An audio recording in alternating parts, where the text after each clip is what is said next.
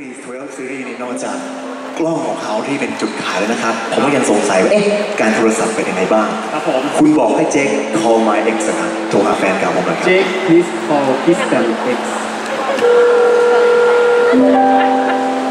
ใช้เสียวมีนะเขาจะรับไหมนะ เขาไม่รับว่าขออีกทีได้ไหมแหม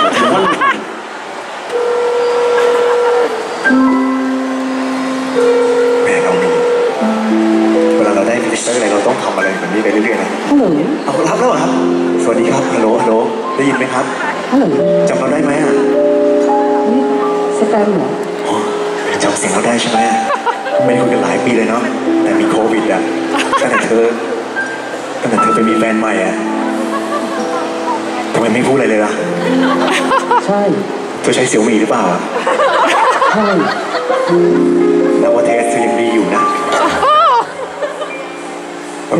มากเลยอะแล้วช่วงนี้เธอเป็นยังไงบ้างเหรอเธอเข้าเพลงเลยเหรอเธอไม่พูดคุยกับฉันเลยเหรอะมามามามาช่วงนี้เหรอใช่หลังจากที่เธอจากไปอะฉันก็อยู่คนเดียวใน